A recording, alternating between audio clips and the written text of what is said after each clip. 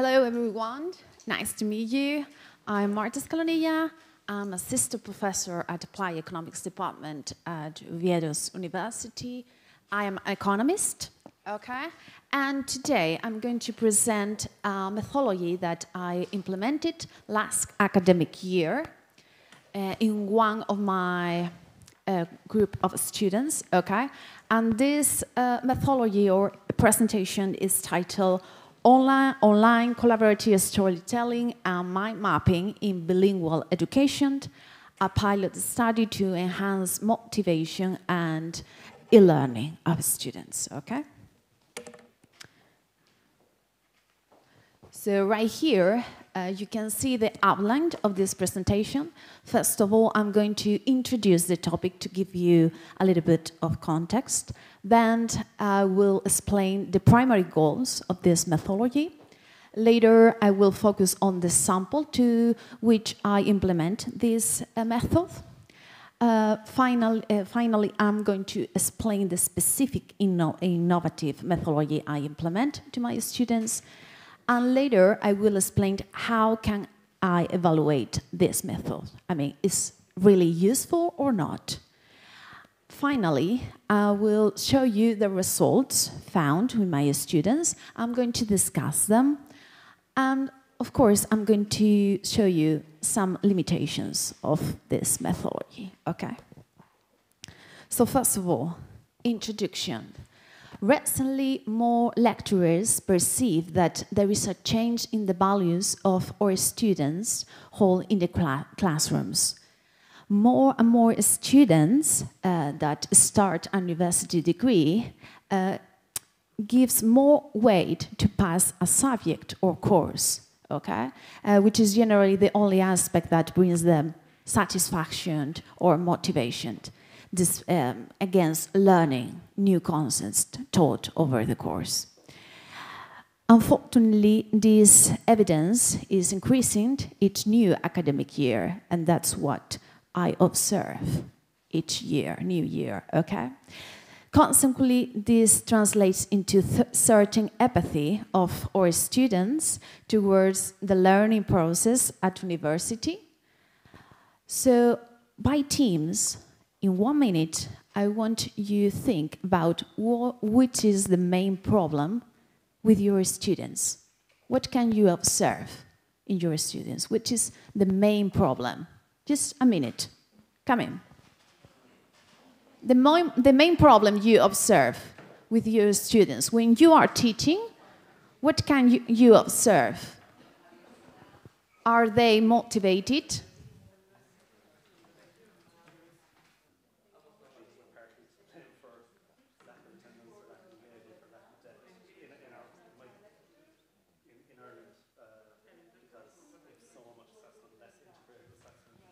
So, do you find do you find similar problems with your students? Do you find similar? Yeah? So I'm going to tell you my experience with my students in Oviedo, okay? We can observe a scarce participation and motivation, okay? More specifically, we observe a reduction in class attendance. This is very negative in my classes, okay? Well, it's not my classes, okay? It's for all teachers at university, okay? And uh, of course, we observe an increase in high dropout and failure rates, okay? So I need to change something, especially my classes, okay? I, we need to capture students' attention, okay? Capture their attention. How? Using probably uh, innovative tools that motivate them, but they, and they uh, learned at the same time, okay? Uh, of course, we also take into account the ICTs and their important weight nowadays in our daily lives. So we need to introduce uh, methodologies uh, in favor of meaningful and collaborative learning, okay? The educational model that was implemented decades ago in which students are pa a passive part of the learning process no longer works, okay? So, um, how can we uh, do with this problem? We can use active learning. Probably most of you know this kind of learning, okay? It enhances students to be involved and teaching uh, in the teaching learning process and they improve their performance, okay? It does not only motivate them, but they also uh, understand what are they doing, okay? How can we do to promote this kind of learning? By doing different activities. For example, reactions to a video, discussions in small groups, games in class. In this case, I propose to create a podcast in one of my classes, okay? Of course, most of you know what is a podcast, okay? Because nowadays we can find a podcast for several topics, okay? Music, films, uh, health, lifestyle, okay? Uh, the popularity of podcast started in 2006 when it was found it was found in the literature that um, these kind of activities may improve the professional skills of students, okay, okay? And they introduce them into the digital storytellers. Of course, more and more attention is received nowadays in university and in terms of language, okay, learning, because it was found, found in the literature that when we create a podcast, we can improve our language skills, okay? So it is found that it is, an effective tool, okay, to enhance motivation and enjoyment of our students in the classroom. Among their advantages, we can find simplicity and comfort, because nowadays it's very easy to create a podcast. Flexibility and self-paced learning, because you give all the power and all the control to our students in terms of time and space motivation, of course, and enjoyment. It enhances or uh, it boosts uh, this kind of motivation and enjoyment in the classroom. Despite all these advantages, there is no literature or there are no studies in which uh, authors introduce collaboration at the time to create podcast, okay? And this may be an advantage for students because we try to expand the understanding and the knowledge not only for the individual but also for the rest of the group or the team, the whole class, okay? Another activity we can do is mind maps. How many of you know what is a mind map? Okay, most of you, very good. But when I ask to my students, they don't know what is a mind map. Okay? So, uh, of course, these kind of activities may improve learning and the knowledge of our materials or contents, both individually but also collaboratively. Okay?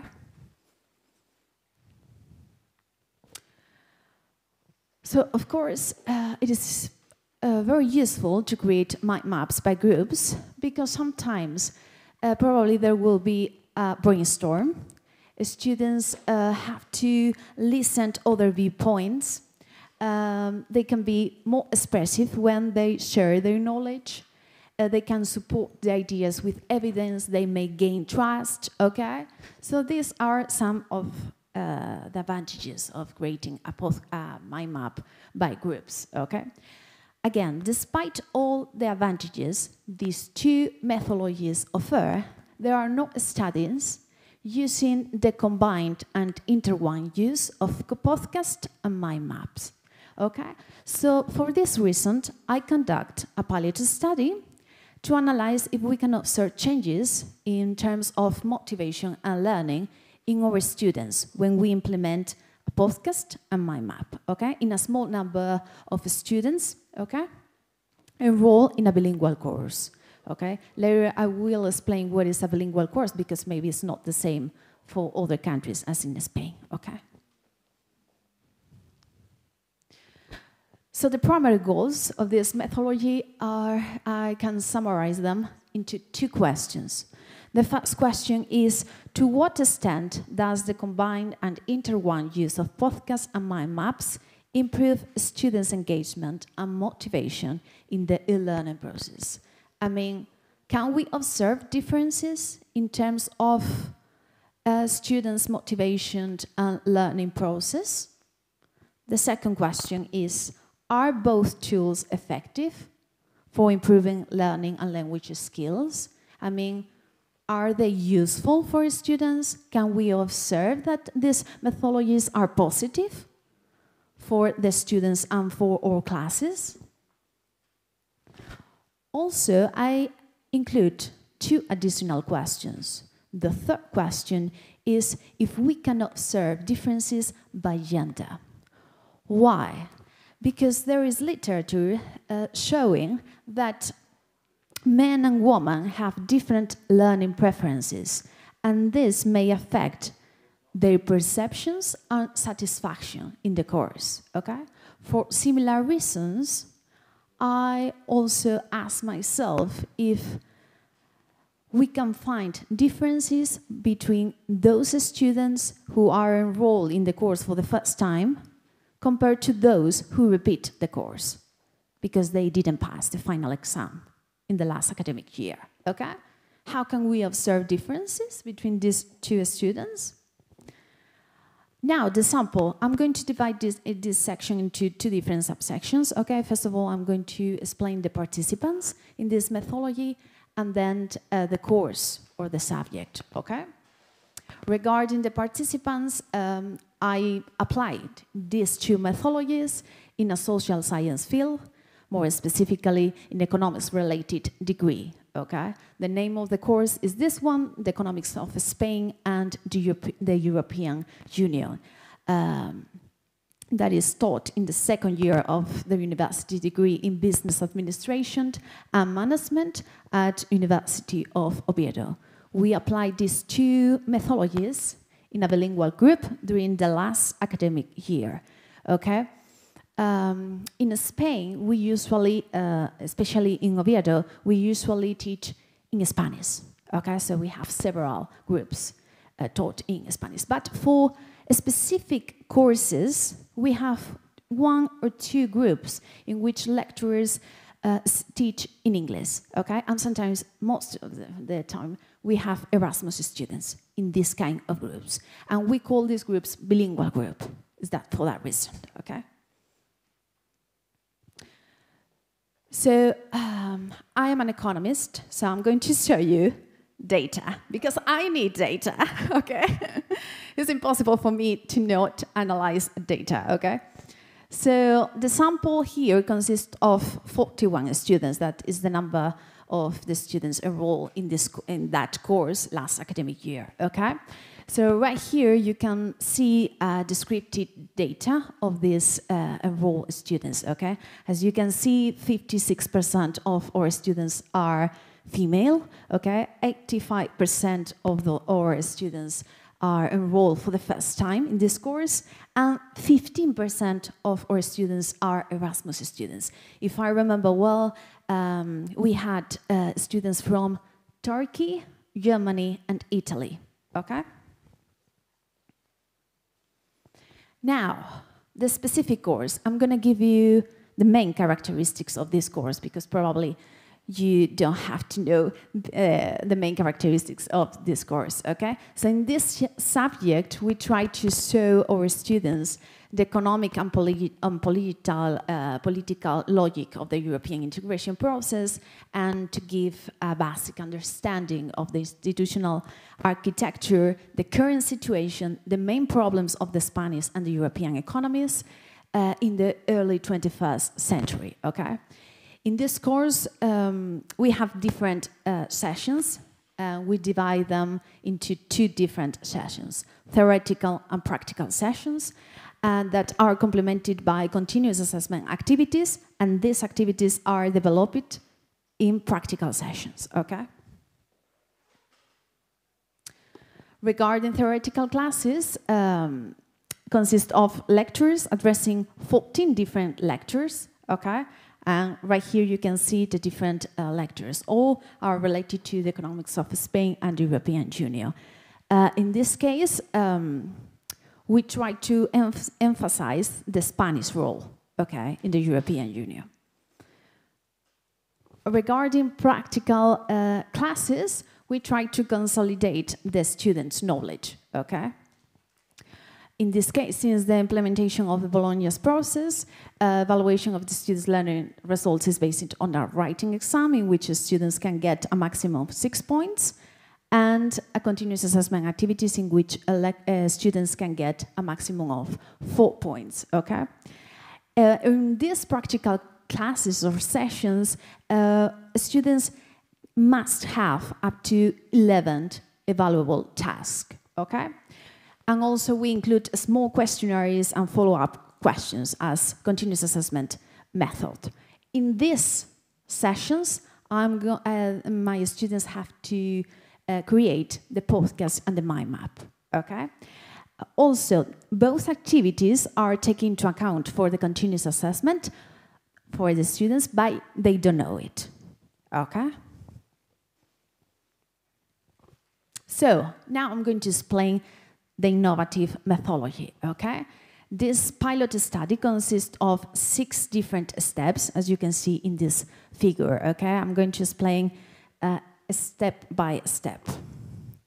The first, in the first step, two weeks earlier, the last practical session, my, um, uh, I'm explained to the students the first task to achieve the creation of a podcast, okay? It's an activity to be done by teams, okay? And it cannot exceed eight minutes, okay? Its duration must range between four and eight minutes. How can they create a podcast? Using Audacity software, which has this logo, like here, is completely free and it's very, very easy to create a podcast, okay? Because with this uh, software, you, you can't import on audios, remove notes, cut, um, merge clips, whatever. Okay, so it's very easy, it's very easy for students to create a podcast with this software. If we have time, we can try a proof later, okay, with this um, software. Now, it's time to choose team and the topic, okay? Since I had 41 students enrolled in the course, I create uh, seven groups of six, of six students, except in one case that it was composed by five individuals, okay? I distribute male and female students and also Erasmus students. And then, when the teams are created, I give the specific topic for each team, okay? Why? Because in no case two teams are going to have the same topic.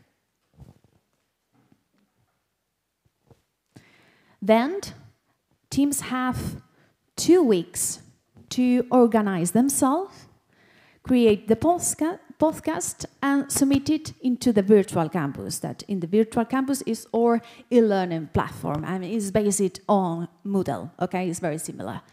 Um, but this platform or virtual campus uh, has an online res uh, resource called podcast. So I create a podcast with the name podcast economics of Spain and the European Union, okay? So in this uh, resource, one of the members of each team have to submit uh, podcast, okay? Since we had seven groups, uh, we will have seven different episodes, okay? And when all episodes are uploaded into the virtual campus, they can be listened by the rest of the teams, okay, or groups. Now, in the last practical session, students must sit with the rest of the members of their teams, and then I explain the next task, that is the creation of the mind map. So what can they do here? In this case, each group will have to listen to the podcast created by other team and then select the most important and show that information using a mind map. Okay, so in this case, they don't have to listen their own podcast. They have to listen other one, okay? So they have to listen to other classmates and then select the most important information and then use create a mind map using that information, okay?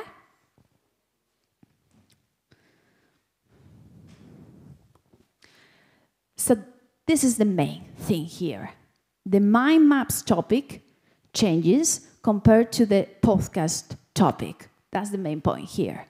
Okay. Uh, of course, all teams have to complete the map during the last academic, uh, sorry, during the last uh, practical session, and again they have to submit it into the virtual campus. Okay, so all the students can listen to all podcasts and can see all my maps in the virtual campus. Okay. And of course, during the, these last uh, practical sessions, I give them some feedback comments regarding the podcast. And of course, uh, students were invited to present their opinions. Okay? So, can, uh, how can they create a mind map? In this case, uh, they must uh, use Canva or another application that, if I remember well, is Spanish, Genially, okay?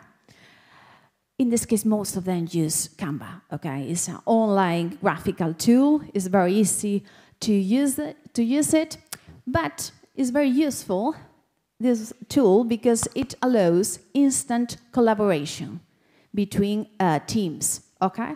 Why? Because the students can share the mind map uh, they are working on via online. And if one member changes something in the map, the rest can see the change immediately, instantly, on their computers. Okay? So it's very, very, very useful because they share the link of the mind map. Okay? So right here, this figure shows a visual representation of this methodology. Okay? Using an, as an example only three teams, okay?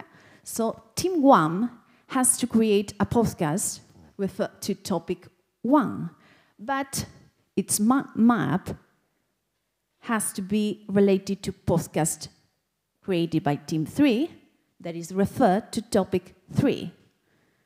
Now, team three create this podcast referred to topic three, but its mind map is related to this other podcast created by Team 2. For that reason, at the beginning of this presentation, I told you that this is the, I analyzed the combined and intertwined use of podcast and mind map. It's for that reason, okay? Although the teams create only one map, they indirectly make two. Why? Because when you create a podcast, you need like a script. Yes, tell me.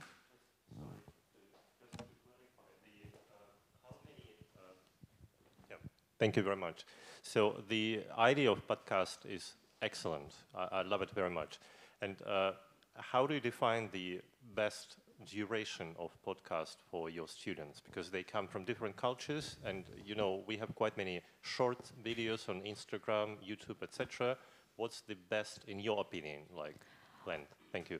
Uh, thank you very much for your question because I discuss it with uh, other of my colleagues of this course, okay? Um, we range before, uh, between four and eight because it's more useful to um, listen during a class. Okay, because in my, if, if, if, you remember, I told you that the, and they have to create the mind map during the last practical session. So they need time to listen to other podcasts several times because it's difficult to uh, create the mind map when you only listen once, okay, the, the podcast. So for that reason, I mean, you can create a podcast, uh, 20 minute podcast, okay, for each uh, lecture or for each topic. But it's more difficult for students to listen several times at 20 minutes podcast and then have to create a mind map and be original and fun, okay? So for that reason, we consider that a podcast less for 10 minutes, it's, it's okay. Because my classes last like one hour and 45. But most of the times is one hour and 30 minutes. Okay? Okay, any question at this point? Okay, so I continue. Uh, as I told you, when you create a podcast, um, you have to organize the information and you have to select the most important. If you remember, uh, this podcast cannot exceed uh, eight minutes, okay? So they have to create a script to follow, okay, to create the podcast. And also, it's important to have uh, a better a well organization of your information when you create a mind map, because you have to decide which is the central idea and which is the rest of the information, okay, that are the branches of the mind map. So, uh, how can I evaluate this methodology? I collect information uh, from two different data sources, okay? First of all, um, I carry out an online survey to my students and I also uh, use different indicators that I will explain them later, okay? Regarding the online survey, I ask them up to 21 questions, okay, to collect information about their experience about these two methodologies, okay? Um, the first nine questions are related to the podcast activity. The, the other nine, these other nine questions are referred to mind map. Okay, so ask them about their satisfaction, if they consider these activities are original, fun, if they motivate them, if they consider are useful for a study, um, if they have a preference of this activity over the other one, um, very important for later. Their preference of this activity over different activities. When I write different activities, I mean conventional or traditional activities we done over the course. Okay, for example, solve an exercise or read a lecture or a reading, okay? And then finally, we also include three open-ended questions, okay? Just to ask our students if they will improve something about the podcast activity or the mind map, or if they would like to introduce new activities that uh, we didn't consider.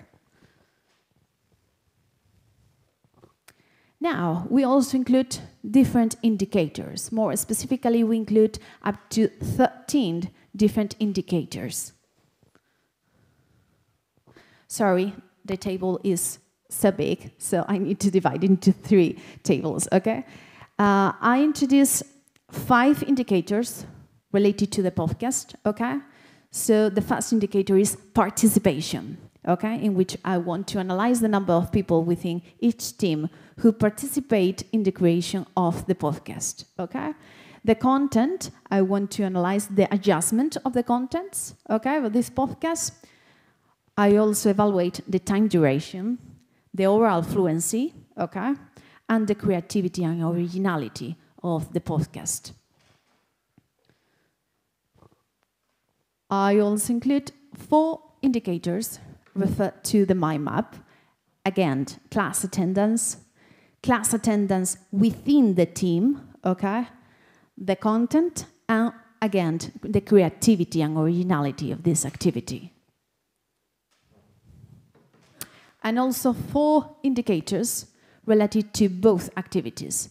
For example, uh, the presentation of podcast and mind maps performance correctly. In this case, I analyze the number of students who have completed two activities, the average grade of these two activities, if there is any influence of these two activities in the final exam, and uh, influence of these two tools uh, used in the skills related to the subject or the course. Yeah.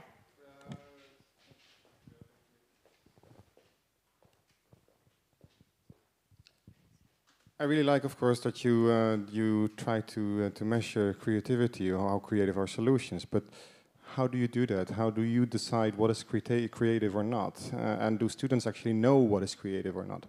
Thank you very much. Yeah, um, yeah, it's very subjective. It's not objective. It's my decision. Okay, but if I show you my ma maps, probably you are going to know what is more creative, more cre uh, creative than the other one. Okay. Later, I'm going to show you different uh, uh, mind maps. Okay, and you will decide which is more creativity. But it's completely subjective. Okay. And that's one of the biggest limitations. The same for the online survey results. They are self-reported from my students, and sometimes they are they can be biased. Okay. So the results. First of all, I'm going to give you two minutes to discuss in your teams how can you implement these two methodologies in your courses. Okay? If you can.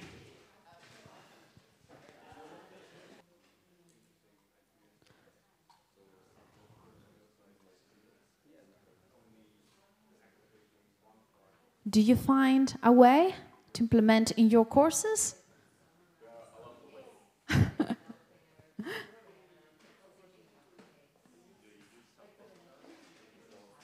yeah? In which field are you working? In which field are Okay. In which field are you working? Innovation entrepreneurship. Okay. Okay.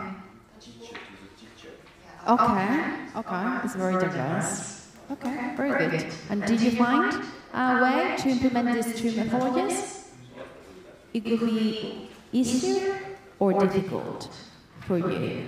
Because it depends, for example, economics, it depends on the subject.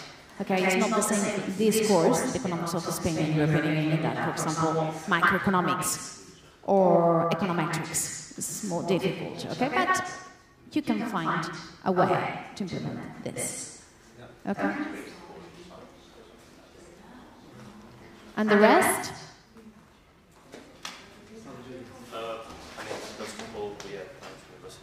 Do you find, do you find a way? More or less? Okay. So I'm going to show you now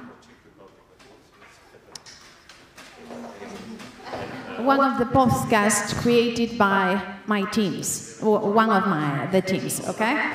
At the beginning, I told them that they have to present, or they have to introduce themselves, okay? So, Hello, I'm Maria Fidalgo and I'm with René, Javier, Miguel and Lucia and we are going to explain Lesson 5 European Competition Policy. First, what is a competition policy? Competition policy is about applying rules to make sure businesses and companies compete fairly with each other. The European Commission monitors and investigates anti-competition practices, mergers and state aid to ensure a level playing field for European businesses, while guaranteeing choice and fair pricing for consumers. Integration creates a pro-competitive effect, which contributes to industrial restructuring. The Commission has all power to regulate the European competition policy, and national authorities cannot oppose Commission decisions. Collusion among firms results in high prices leading to lower demand. of the firms that are part of them by reducing competition. And the problem is that proving disagreements is not easy at all. Exactly. Identifying and breaking up cartels is an important part of the competition policy overseen by antitrust watchdogs in most countries. But, as you just pointed out, the problem is that proving the existence of a cartel is not that easy, as firms are not usually so careless as to put agreements to collude on paper.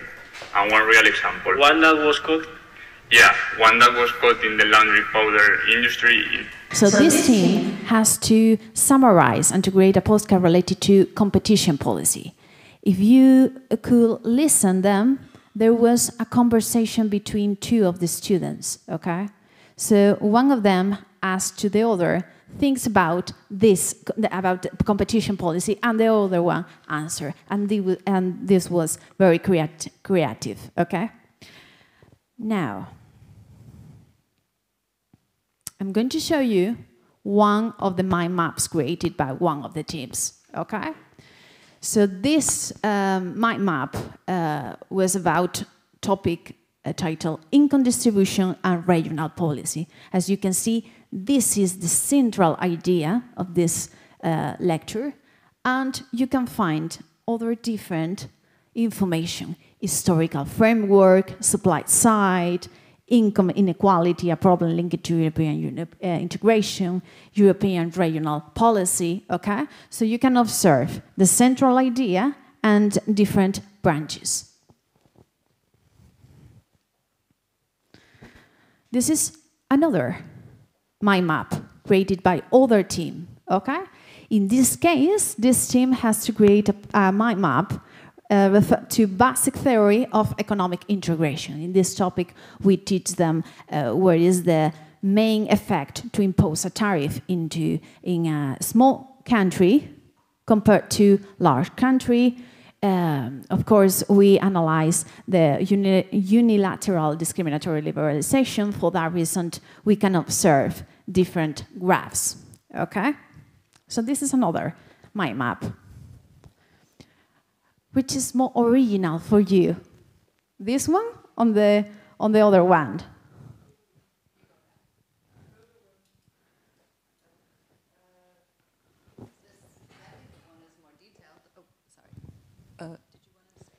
Uh, yeah, um, to me, it's this one. To me, is the more creative one because um, it captures the essential ideas and it's much more structured. So for the I mean, in terms of pedagogy, for comprehension, it's much more clear to me mm -hmm. to, mm-hmm. to understand all the links. And so, if to me, your level of, of comprehension is much more deeper if you are able yeah. to summarize and structure it and go to the essential than if you have to write a whole um, sentences and everything. I mean, from my point of view. uh, sometimes we only know between red wine and white wine. Yeah. And this one is kind of like I know. I know all the different types of wine, and I know kind of the countries, and so it's much more developed uh -huh. schema, isn't it? This one. This and the one. other one, it just seems to be five.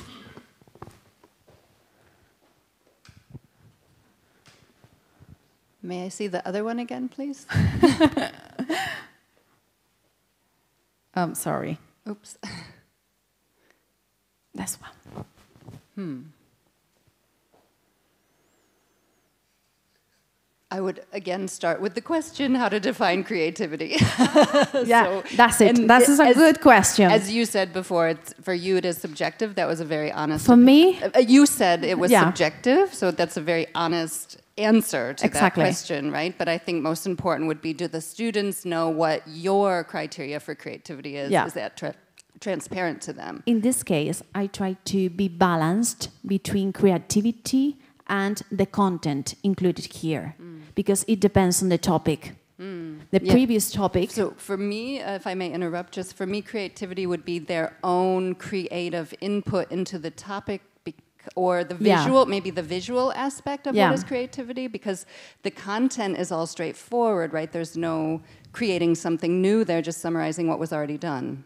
But if they integrate it in some new creative way, then I could call it creativity. Yeah, that's true. Completely agree. Okay.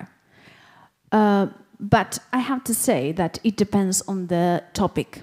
Okay, for students, it's more easier to summarize this topic than the other one because here we don't have graphs. Okay, um, a, a theoretical framework in economics. Okay, but in the other one, Exactly. But I consider that there is a lot of um, text here, okay? Because um, they, they uh, are able, able to, with only graph, to explain the other things, okay? But for me, it was, okay, this one and the other one, okay? Uh, now, the evaluation of this methodology, okay? First of all, the online survey results. Um, this survey was uh, answered by 30 students. That is equal to 73% of the students enrolled in the subject. Um, the feedback found was very positive. Right here you can uh, see the mean scores okay, for the different aspects of the podcast and the mind map. Uh, but if we observe these results, uh, we can uh, find that our students give higher scores to the mind map compared to the podcast. Okay, more specifically, they have lower preference for podcast compared to the mind map. Okay, and look at this aspect: podcast, uh, podcast preference two and mind map preference two. This aspect refers to the preference of, of my students to this kind of activities compared to conventional or traditional activities. They give higher scores to this kind of activities, okay? Uh, let me see. If you remember, I asked them three open-ended questions. So I started to read what my students wrote, okay? To the questions, what will you highlight and improve about the podcast and my activity, I observe this kind of answers. I will not improve anything. I think that the podcast was a really great and useful idea to do in class. It's a really interesting way to revise the subject. It's a good idea to learn the lesson in a different way, and it's very good to do it in groups to improve our contact with the other classmates. I find this activity very interesting. I will not change anything. It is a fun way to learn. It helps us study and organize our ideas. Okay? Of course, there are negative comments, uh, okay? But I'm going to tell you that comments at the end because they are very similar. They are referred to the time. What is? 10 minutes, okay. Oh, uh, if you remember, I told you at the beginning of the presentation that I wanted to see um, if there are differences by gender, okay? in their self-perceptions and experiences, okay? So this is the mean scores um, for the podcast, and this is for uh, the uh, mind map, okay? As you can see, uh, males, uh, of course, students prefer this kind of activities, mind maps, compared to podcast, okay? But when we uh, look at the podcast activity, we observe that for several aspects, male students give higher scores compared to female students. Regarding the maps, we observe the reverse. Female students give higher scores compared to male students. Okay? So we can observe a difference. Of course, we cannot generalize, generalize these results because I only have 30 students. Okay, probably I will need more uh, sample to analyze if there is a significant difference between males and females. Okay, but we can observe just a little bit difference here. Now, sorry, the title is, there is a typo, okay? Now, what happens if we compare those students who are enrolled in this course for the first time uh, compared to those who repeat the course because they didn't pass the exam, the final exam? I'm going to focus right here, okay? What can we observe here? Those who repeat the course give higher scores to, the, to this kind of activities compared to those who enroll this course for the first time. So this is very significant because this kind of, uh, this kind of students, those who repeat, had a bad or a negative experience in this course. Okay? So they are more motivated with this kind of activities. This is very, very, very interesting. Yeah. What is the grade? What is the grade to fail, and uh, five is the highest uh, grade? No, it's just a Likert scale. Sorry. Okay, it's a Likert scale from zero to five. Sorry. Exactly, it's not the grade of the course. I asked them different uh, questions about uh, what do you think? Uh, do you prefer this activity over conventional uh, activities? And they have to select between zero to 5. 0 is the lowest score, and 5 is the highest score. And right here, I graph the mean scores, distinguishing by gender, in this case, between uh, different students, okay? Now, the indicator results, okay? We have different indicators and different teams, okay? So right here, I write the values obtained to sum all of them, okay? To summarize all of them. Uh, in terms of motivation and participation, the results are excellent. Really, really, really excellent. But, uh, of course, in terms of content uh, too, okay? But in terms of time duration of the podcast, oral fluency, and creativity and originality, we can observe differences between teams, okay? And in terms of oral fluency, we can observe differences between teams and within teams. Especially, we observe that Erasmus students and female Erasmus students and female students have a higher English level compared to the rest. Okay, for that reason, I wrote an interval right here. So to conclude this presentation, uh, some limitations of this uh, methodology. Uh, we use a small group, okay? This is a pilot study. Uh, the main idea is just to replicate it several times in different courses, okay? To uh, have a higher, uh, larger sample. From the viewpoint of students, also we receive comments from them just related to the time to do and to create these two activities. They told us that they need more time to create the podcast and also to create the mind map, especially because when we implemented this methodology was in the last two practical sessions and it's a period uh, for them with, um, with several exams. Okay, so probably we need to organize uh, or have more flexible time to uh, implement these two activities. Of course, another limitation, all data uh, were self-reported, okay, because it's the experience of our students, okay, so probably maybe we need extra information, okay. And of course, the results in oral fluency in English are different within a team, okay? So we cannot observe a contagion effect. I mean, those who, who dominate the language uh, skills push those students with lower level uh, to improve their language skills. Just to conclude with this sentence. In terms of motivation and participation, uh, only creating one podcast, a mind map, we can find really positive effects and results, okay?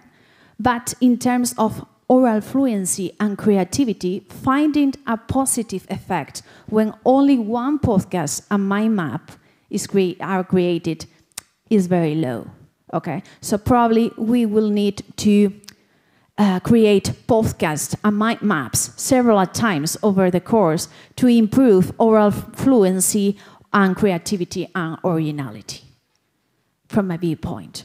Okay? And that's it. Thank you very much.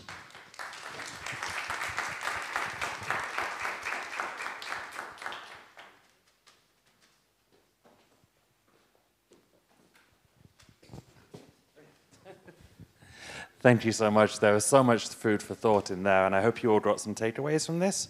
We have a couple of minutes for questions. Anything?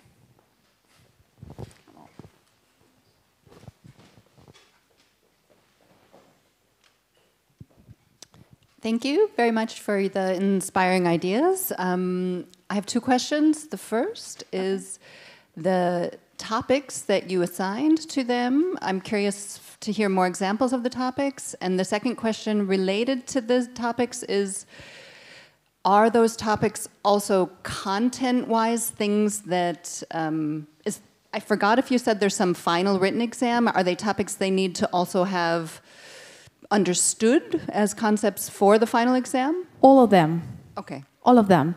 Uh, we had we have 14 different topics. Okay, so I select the seventh most important topics for them. Uh, finally, this this kind of activities is just um, very helpful for them to revise for the final exam. For that reason, I select because since we had seven groups, I select the seventh most important topics. Okay, so for example, topics, I have them right here in one of the slides. Okay, uh, let me see.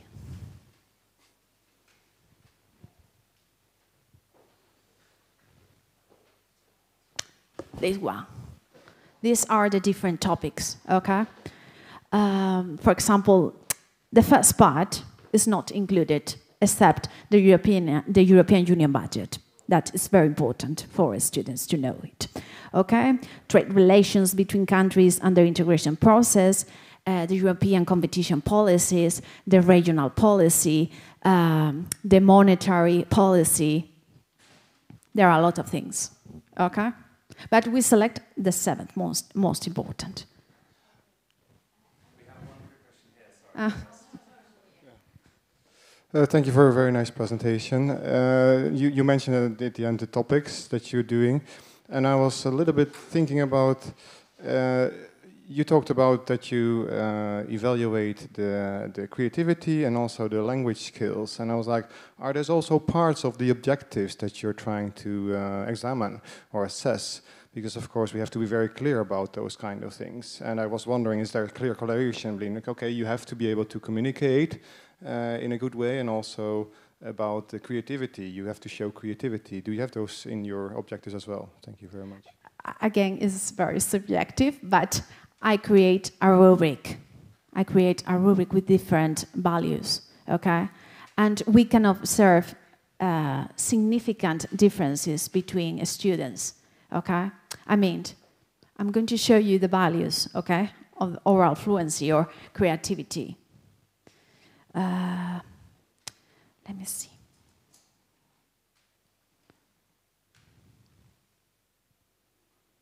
Mm, for example, this one, oral fluency, okay? I can write uh, uh, values between 1 and 5, okay? One is if students don't stop, there are no pauses in the podcast, okay? two no pauses and many times liter is understood okay because sometimes they um, they speak so slowly okay three adequate breaks at times four is almost always uses the right stops is quite understandable what is said five always it is use the right pauses or stops you always understand what is said okay that's the best way to evaluate the oral fluency, but again, it's very su subjective. And the same from creativity and originality. Okay?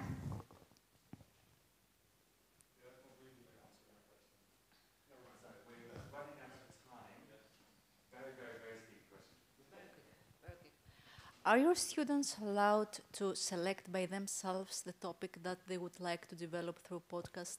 Sorry, repeat the uh, question. Uh, are they able, your students, to select by themselves? No. No.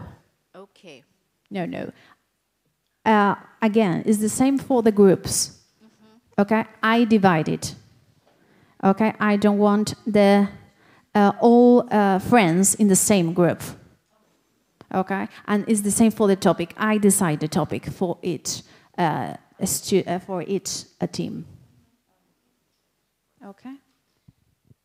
Last question, okay. Do the, do the students have communication skills like a course or something like that before they make this yeah, podcast? They have. Because if, if you want to, um, to assess something, uh, you, you have to deliver some kind of information, teaching, whatever?